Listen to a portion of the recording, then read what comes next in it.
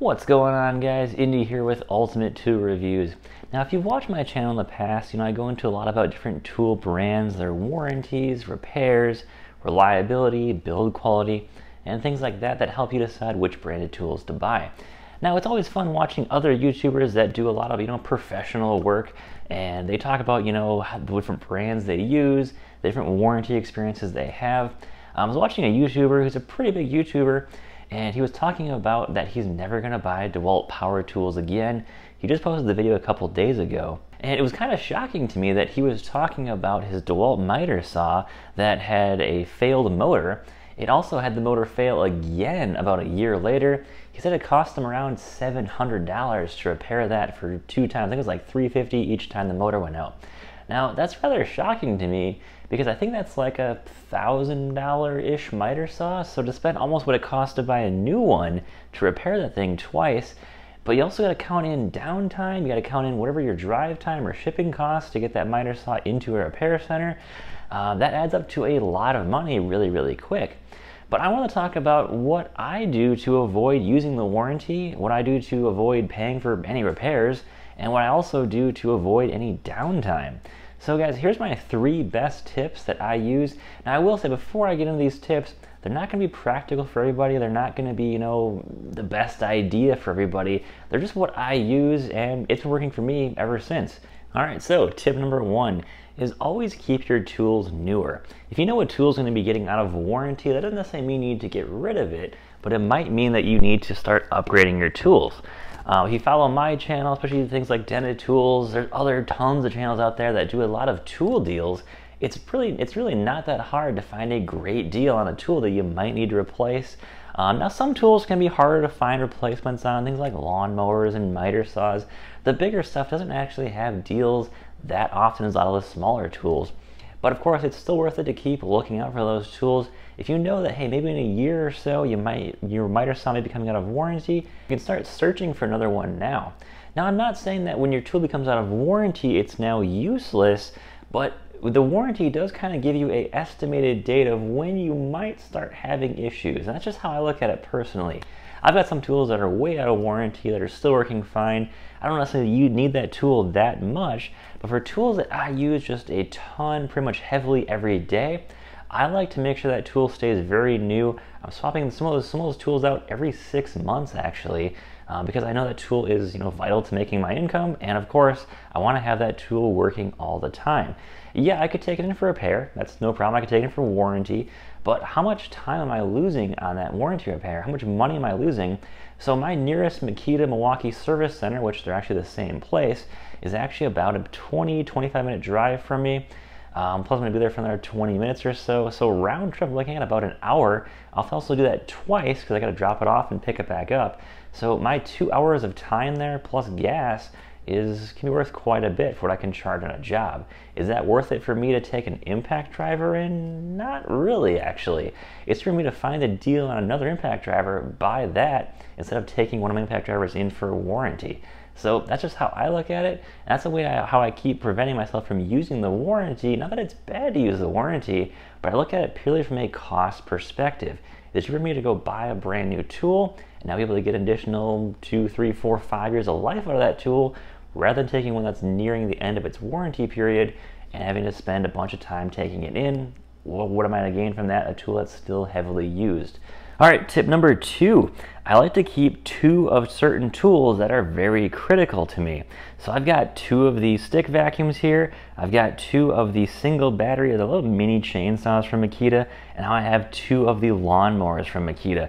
Now that's not very practical for everyone, I will say that, but it's quite practical for me because if any one of these tools goes down, I can't sacrifice the time it takes to A, go find a new one, or B, get it repaired. These tools make me quite a lot of money. My wife uses the stick vacuums a lot on her jobs, and she cannot have one go down. In fact, on some of the jobs she goes on, she'll actually bring both, even though she just needs one, because she can't take the time to go maybe grab, come back home and grab the other one, or even go to the store and pick up another one. It's cheaper for us to really have two of those tools on hand at all times. Especially when you can find a deal and just buy two of them right away. So I will say like the two chainsaws down here, they're going for like 200, 250 at Home Depot. I was able to grab both of these on eBay for about a hundred bucks a piece. So for the price of just buying one, I was able to grab two on eBay. Got them both brand new in the box and these tools are very, very useful to me. I get a lot of work out of them. Now for having two lawnmowers, that can be very impractical. Of course, it takes up more space, but for some of my clients, I do a little bit of, you know, clearing some of their spots in their property for them. And of course, that makes me a good amount of money doing that for them. So for me to have one lawnmower go bad, these lawnmowers aren't even in stock at Home Depot anymore. So if I need to grab another one really quick, that would be a huge problem for me. Add to that, I've heard some horror stories about how Makita has you warranty the lawnmowers. They require it you, they require you to send them to one of their service centers, not just a authorized service center, which which would require you to probably to ship these back in a very expensive manner. The nearest one to me is about a three-hour drive, which would be totally impractical for me to take one back. I was able to grab one off Facebook with batteries for $200. Now I still have mine, which I bought brand new. So if one does break on me, of course I can swap out parts and have one always ready to go. And now I need now I know that I need to buy another one because I have one that's broken. And finally, tip number three is buy some tools that are kind of designed to be disposable. Now that doesn't really make any sense for what I've been saying, but hear me out on this one. This is a Makita XRH01. This is a SDS rotary hammer. Now this tool, I can often find these pretty cheap at pawn shops. I grabbed this one on eBay. I got it for like 60 bucks with the case. Um, came with one battery. I have no idea why it was listed that cheap, but it works just fine. And I do find these often once in a while. Now, this tool is going to run you $250, $300, but I've only gone through one of these in a couple of years. It's not a tool I necessarily use a ton, but it's one of those tools where I can oftentimes find a used working one for really, really cheap. And it does save me money because I don't have to worry about warranting this thing out. If this thing goes bad, I'm tossing this thing out and I'm going to go find another one that's used for really, really cheap. I figure I'll still be below having a below the price of having a new one within maybe 10 years for how much I actually use this tool. So having tools that can be designed to be just disposable when it goes bad, buying it really, really cheap, especially when they're not a critical tool, but still an expensive tool, can help save you, of course, time with warranting out a new tool. I don't want to spend the time warranting out a $300 tool and not having it on the job site. Now, of course, that's not going to be practical for everybody, but for what I do for using this thing maybe 20 times a year, it's very practical for me, and I've always got other options I can use other than just having an SDS hammer. So guys, that's my three tips for what I do to avoid wasting time warranting tools uh, wasting money repairing tools and wasting money buying brand new tools when I don't really need a brand new tool and nor do I actually want to deal with the warranty if something does go bad on a more expensive tool. So guys, in review, first thing I do is always keep new tools on hand. If it's gonna be a really, really heavy use tool, I try to make sure that by the time it gets to end of life, I'm already working on getting a replacement for that tool, depending on how much I use that tool. The more critical that tool is to me, the faster I'm going to replace that tool. I'll be looking for deals constantly. My goal for whenever I buy or sell a tool is to always buy that tool as cheap as possible, find the best deal for it, and then when I go to resell it, I can get the most amount of money for it. I'll give you an example. I recently just sold both of my Makita 36 volt, the dual battery LXT chainsaws. Now I paid right around $500 for both of those saws. I didn't pay $500 each, I paid $500 for both the saws. One of them I got with four batteries, the other one I got with two batteries. Now I sold them both on Facebook. I sold them for about 250 bucks or so. That's what I got for both of them. One person bought both of them, which was really cool, but I was able to keep all the batteries and the chargers to them. So for 250 bucks, I got six charger, or sorry, I got six batteries and two chargers. Not a bad deal for using those saws for about two and a half years. And of course, those saws, do they have a lot of life left on them? I'm not sure. But I did make it very clear when I sold them that, hey, that they were heavily used and they definitely took, you know, quite a beating, but they still work fine. So I've already replaced them with the new XGT chainsaws. And the cool thing with the XGT, chain, XGT chainsaws right now is they can be had for just a little over $300 in a kit on eBay right now. So I've seen a lot of those going on right now and I figured, hey, this is a great time to sell my Makita 36 volt chainsaws upgrade to XGT, pick up some more batteries, and really not lose a lot of money. I'm only paying about $100 more per saw right now after I already sold my old saws. So kind of a fantastic deal there.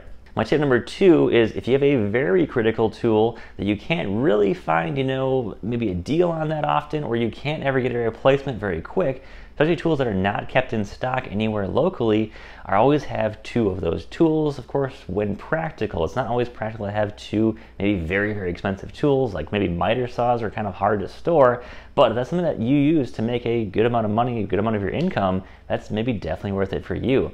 For me, I've got, you know, two of the little chainsaws, I've got two of the stick vacs, I've got two lawnmowers, it's just not practical or easy for me to a warranty out those tools, nor is it practical for me to be able to get a replacement tool very quickly.